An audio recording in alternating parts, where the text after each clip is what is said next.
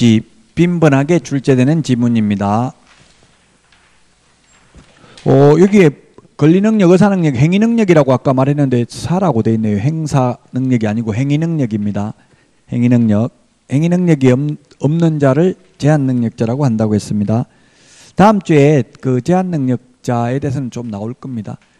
민법에 나오고 또 우리 중개 실무에서는 뭐 그렇게 중요하지는 않습니다. 자, 1번 문제 보겠습니다. 거래 계약서에 거래 금액 등 거래 내용을 거짓으로 기재한 경우 자격 취소 사유가 된다. 네, 자격 취소 사유는 아닙니다. 자격 취소 사유는 부양 지역 4개밖에 없습니다. 부양 지역 거짓 부정한 방법으로 자격 취득한 경우 자격증 양도되어 자격 정지 기간 중에 업무하는 경우 이 법에 의해서 징역형을 선고받은 경우만 자격 취소사입니다. 그래서 계약서 거짓으로 기재하면 개업 공인중개사는 임의적 취소, 취소 안 하면 업무 정지, 소속 공인중개사의 경우에는 자격 정지 사유에 해당됩니다. 그래서 1번 틀렸고 2번은 자격 취소 처분을 받은 공인중개사인 개업 공인중개사는 그 사무소의 소재지를 관할하는 시도의사에게 반납해야 된다. 에, 준 사람이 빼앗습니다. 그래서 교부한 시도지사입니다. 교부한 시도지사 우리 핵심 비교 정리 프린터 54번 54번 맨 밑에 보면 동그라미 1번부터 7번까지 적어놨는데 6번 청문 7번 의견 진술 기회만 사무소 관할 시도지사입니다. 나머지는 교부한 시도지사입니다. 그래서 2번 틀렸습니다. 3번 중개인을 한 소속 공개사가 그 확인 설명서에 서명 및 날인하지 않는 경우 자격 정지 사유에 해당이 된다. 맞습니다. 서명 및 날인하지 않는 경우 소속 공개사는 자격 정지, 개업 공개사는 업무 정지 사유에 해당이 됩니다. 3번 맞습니다. 4번 시장 군수구청장은 자격 정지할 수 있다 했는데 자격 정지, 자격 취소는 누가 한다? 시도지사. 시도지사 기출문제 지문입니다. 이게 다. 그래서 4번 X입니다. 5번 자격증지도 사무소 관할 시도의사와 교부한 시도의사가 다른 경우 누가 한다고요? 교부한 시도지사가 합니다. 그래서 5번 X입니다. 다음에 6번 시도지사는 자격 정지 처분이 아니고 자격 취소 처분을 한 때만 5일 내 보고하고 국토교통부 장관에게 다른 시도지사에게 통지해야 됩니다. 자격 정지 처분은 보고 규정이 없습니다. 다만 등록 관청이 자격 정지에 해당하는 사실을 알게 된 때에는 시 도지사에게 통지해야 됩니다. 6번 틀렸고요. 그 다음에 7번 성실 정확하게 확인 설명하지 않거나 근거 자료 제시하지 않는 경우 업무정지, 자격정지 모두 될 수 있다 했는데 업무정지가 X입니다. 500만 원 이하의 과태료입니다. 개업 공인회사가 확인 설명하지 않거나 근거 자료 제시하지 않는 경우에는 500만 원 이하의 과태료 소속 공개사가 확인 설명을 안 해도 되는데 확인 설명하면서 잘못 설명하거나 근거 자료 제시하지 않는 경우는 자격 정지 사유에 해당됩니다. 그래서 7번도 X고요. 그 다음에 8번입니다.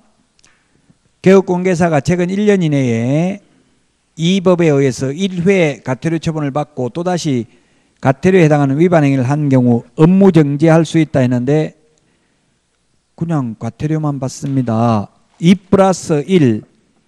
자, 2 플러스 1이 어디 있습니까? 1년짜리 숫자 1년에 보시면 44번에 44번에 12번부터 44번에 12번부터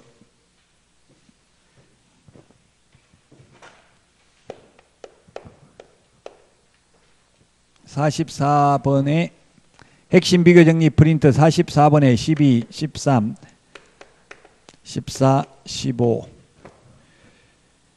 15번까지 있죠. 여기 2 플러스 1, 그 다음에 3 플러스 1, 2 플러스 1,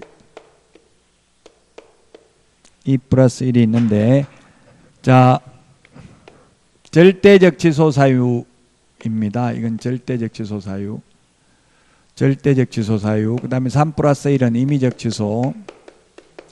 그 다음에 14는 업무정지. 15번은 임의적 취소, 임취, 매수 신청 대리, 매수 신청 대리와 관련해서 임의적 취소 사유에 해당이 됩니다. 자, 절대적 취소는 이게 2 플러스 1은 최근 1년 이내에 2회 이상 업무정지 처분을 받고 또다시 업무정지에 해당되는 위반 행위를 한 경우입니다. 세 번 다 업무정지입니다. 앞에 두 번은 받았고 한 번은 위반을 한 경우입니다. 절대적 취소입니다. 그 지금 아까 문제는 2 플러스 1이어야 되는데 1 플러스 1이잖아요. 과태료 한 번 받고 또 과태료에 해당하는 위반 행위를 한 거죠. 그래서 그냥 과태료만 받으면 됩니다. 과태료에 해당되는 위반 행위를 했으니까. 자, 이게 이제 13번이 문제인데 2 플러스 1이 절대적 취소인데 한 번 더 많은데 3 플러스 1이 임의적 취소라고 하면 한 번 더 많은데 좀 논리적으로 보면 이해가 안 되죠. 그래서 여기에는 단 2 플러스 1, 즉 법제 38조 1항 제8호에 해당하는 경우는 제외한다고 돼 있어요. 이게 무슨 말이냐 하면은 최근 1년에 업무정지, 과태료, 업무정지 3, 3 플러스 또다시 업무정지에 해당되는 위반 행위를 한 경우 이런 경우에 이게 임의적 취소입니까? 절대적 취소입니까? 이런 경우는 이 과태료 한 번 없어도 이미 2 플러스 1 여기 절대적 취소에 해당돼서 이는 절대적 취소입니다. 그러면 최근 1년 이내에 과태료, 업무정지, 과태료, 그 다음에 또다시 업무정지에 해당되는 위반 행위를 한 경우 3 플러스 1, 이 경우는 임의적 취소입니다. 그래서 3 플러스 1이 임의적 취소가 되려면 최소한 과태료가 두 번 이상 포함되어 있어야 됩니다. 과태료가 한 번밖에 포함 안 돼 있으면 이, 이거 하나 빼버려도 이미 2 플러스 1 절대적 취소에 해당된다 이 말입니다. 자, 그 다음에 14번은 두 번 이상 업무정지 또는 과태료 처분을 받고 또다시 과태료에 해당하는 위반 행위를 한 때에는 업무정지 사유입니다. 그 다음에 15번은 이게 12번하고 똑같습니다. 똑같은데 매수 신청되는 임의적 취소입니다. 업무정지 두 번 받고 또다시 업무정지에 해당되는 위반 행위를 해도 매수 신청 대리의 경우는 임의적 취소에 해당이 됩니다. 그래서 8번에 X입니다. 9번은 배업 신고 전의 개업 공개사에 대하여 위반 행위를 사유로 행한 업무정지 처분의 효과는 배업일로부터 1년간 다시 개설 등록을 한 자에게 승계된다. 폐업일로부터가 아니라 처분일로부터입니다. 처분일로부터 기출문제입니다. 처분일로부터 1년간 재등록한 개업공개사에게 승계된다. 업무정지 처분일로부터 그래서 9번이 X고요. 그 다음에 10번 소속 공인중개사가 중개무에 관하여 벌칙의 재질 위반 행위를 한 때에는 그 행위자를 벌한 외에 그 개업공개사에 대해서도 동일한 금액의 벌금형을 가한다. 동일한 금액 X입니다. 해당 조에 규정된 금액의 벌금형을 과합니다. 해당 조에 규정된 벌금형 동일한 금액의 벌금형 X입니다. 즉 직원이 잘못해가지고 천만 원 벌금을 받았으면 사장은 천만 원 이하의 벌금을 받는 게 양벌 규정이에요. 똑같은 액수가 아니라 사장은 백만 원 벌금 선고받을 수도 있다는 이야기입니다. 그래서 틀렸고 11번 공인중개사 및 개업 공인중개사가 아닌 자도 이 법에 따라 과태료를 받을 수 있다. 예, 거래정보 사업자 500만 원 이하의 과태료 있죠. 그래서 11번 협회도 또 500만 원 이하의 과태료 있잖아요. 그래서 11번 맞습니다. 12번 포상금 지금 공인중개사법을 하고 있으니까 이게 국고에서 보조 일부를 보조 전부 또는 일부를 보조할 수 있는 게 아니라 50% 범위 내에서만 보조할 수 있습니다. 전부는 보조 못합니다. 그래서 12번 틀렸습니다. 그 다음에 13번 폐업 후 중개업을 한 자를 신고한 자는 포상금 지급 대상이 된다. 무등록이니까 폐업을 했으니까 맞습니다. 14번 공제운영위원회 위원은 협회 임원 중개업 법률 회계 금융보험 부동산 분야 전문가 관계 공무원 및 그 밖의 중개업 관련 이해관계자로 구성하되 그 수는 7명 이내로 한다. 7명이 아니라 19명 이내로 합니다. 그래서 틀렸고 15번 외국인이 취득하려는 토지가 자연환경보전법에 따른 생태 경관 보전지역에 있으면 부동산 거래 신고 등에 관한 법률에 따라 토지 거래 계획에 관한 토지 거래 계약에 관한 허가를 받은 경우를 제외하고는 외국인 등의 부동산 취득 특례에 따라 토지 취득 계약을 체결하기 전에 신고 관청으로부터 토지 취득 허가를 받아야 된다. 맞죠? 군문자 야 네 군데는 허가 받아야 됩니다. 맞습니다.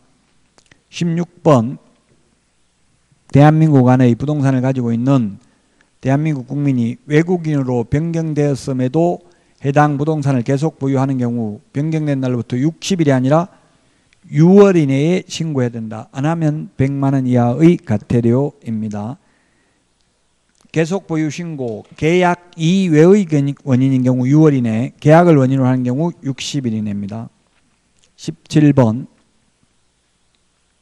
외국의 법령에 따라 설립된 법인이 자본금의 2분의 1 이상을 가지고 있는 법인은 외국인 등에 해당한다. 전부 2분의 1입니다. 맞습니다. 56번 핵심 비교 정리 프린트 56번에 보면 2분의 1, 3분의 1 적어놨습니다. 자, 그 다음에 18번 건축물의 분양에 관한 법률에 따른 분양 공급 계약도 부동산 거래 신고 대상이다. 맞습니다. 271페이지 한 번 더 펴보십시오. 271페이지 8개 법률에 따른 공급 계약입니다. 271페이지 맨 밑에 기억해 보니까 건축물의 분양에 관한 법률, 공공주택 특별법, 도시개발법, 도시 및 주거환경정비법, 빈집 및 소규모 주택 정비에 관한 특례법, 산업입지 및 개발에 관한 법률, 주택법, 택지개발 촉진법 이 여덟 개 법에 포함되지 않는 게 건축법 X 적어놓으라고 했죠. 주택법 옆에 공급계약도 부동산 거래 신고 대상입니다. 18번 맞습니다. 19번 금정체계 구축 운영은 시장 군수구청장이 아니라 국토교통부 장관이 금정체계 구축 운영해야 됩니다. 그 금정체계에 의해서 실거래 가격 검증하는 사람은 시장 군수 구청장입니다. 20번 토지의 이용 의무를 이행하지 않아 이행명령을 받은 자가 그 명령을 이행하는 경우에는 새로운 이행강제금의 부과를 즉시 중지하고 명령을 이행하기 전에 이미 부과된 이행강제금을 징수해서는 아니 된다. 작년에 기출문제입니다. 이거 20번이. 이미 부과된 거는 징수해야 된다 했죠? 이 이행강제금에 대한 이 신청만 30일이고 나머지는 다 1월이라고 했죠. 토지거래 허가에서 불허가 처분을 받았을 때 매수청구 1월 이내에 그 다음에 이 신청도 1월 이내에 그 다음에 선매자 지정 통지도 1월 이내에 선매 협의 완료도 1월 이내에 선매 협의 완료 조서 제출도 1월 이내에 1월이 다섯 번, 30일이 한 번 나옵니다. 자, 여기까지 하고요. 다음 주에 뵙도록 하겠습니다. 건강관리 잘 하시기 바랍니다. 수고하셨습니다.